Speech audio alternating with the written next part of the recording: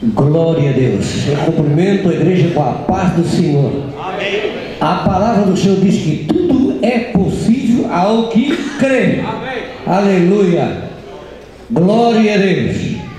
Jesus chegou para Marta e disse: Marta, se tu crê, tu verás a glória de Deus. E esta noite o Senhor está aqui para te abençoar. Somente. Pai Celestial e maravilhoso Senhor. Em nome de Jesus eu oro. E te peço, Senhor, que tu venha ao nosso favor. Quando a tua igreja está reunida e unida, Senhor. Crendo no teu poder, por isso eu te peço.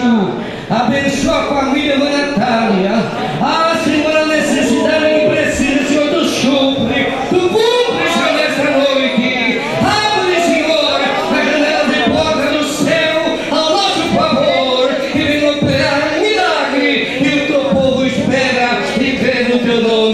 para todo sempre. Amém, Senhor.